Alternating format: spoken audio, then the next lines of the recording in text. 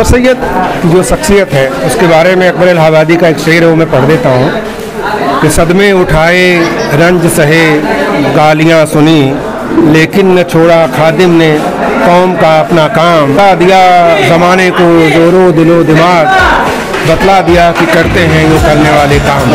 तो चुपचाप वो काम करते रहे।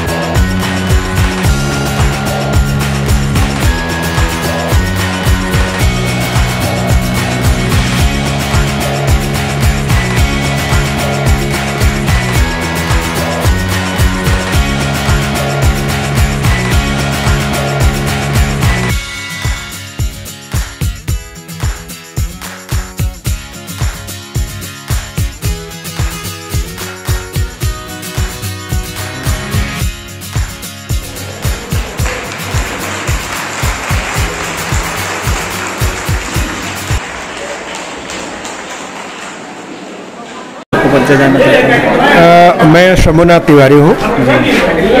सर सैयद ने जो यूनिवर्सिटी बनाई थी जी। मेरी खुशनसीबी है कि मैं यूनिवर्सिटी के हिंदी डिपार्टमेंट में प्रोफेसर के रूप में मैं पोस्टेड हूँ इस समय।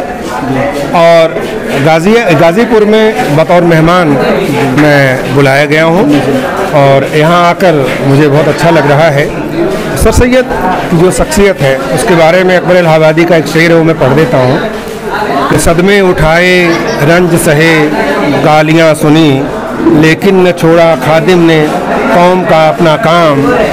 बतला दिया, दिखला दिया ज़माने को जोरो दिलो दिमाग। बतला दिया कि करते हैं यूँ करने वाले काम। तो चुपचाप वो काम करते रहे, गालियाँ सहते रहे।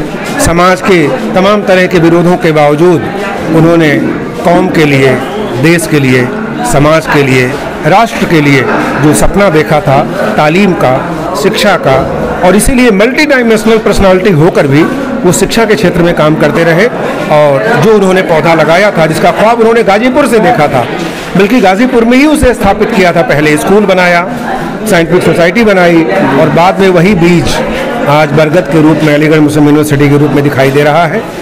जिसकी छाया में पूरी दुनिया के तालब इल्म आते हैं तालीम की रोशनी हासिल करते हैं और पूरी दुनिया में वो रोशनी फैलाते हैं।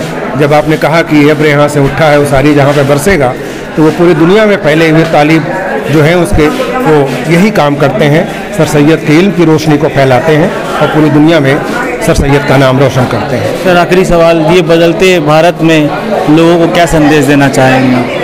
देखिए बदलते भारत में हमें ज़रूर देखना होगा कि हिंदू और मुसलमान के नज़रिए से नहीं, बल्कि हिंदुस्तानी और हिंदुस्तान के नज़रिए से, इंसान के नज़रिए से देखना होगा, तभी बात समझ में आएगी।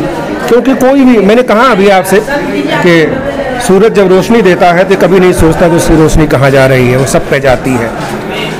बारिश होती है तो बारिश कभी ही नहीं देखती कि मेरी जो बारिश है वो घास पे जा रही है या मिट्टी पे जा रही है, वो सब पे मिलती है। उसी तरह से तालीम का सपना देखने वाले सर सैयद ने जब तालीमी इदारा खोला तो उन्होंने कभी ये नहीं सोचा कि इसमें कौन तालीम लेगा। जो भी प्यासा है वो कुएँ के पास जाता है, जो भी प्यासा है उसकी प्यास बुझती है।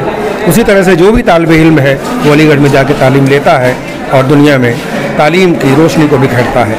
और ये सपना था सर सैयद का।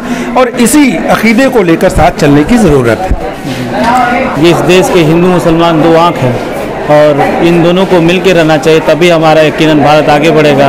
जी सेवेंटी टू न्यूज़ के लिए नाजिम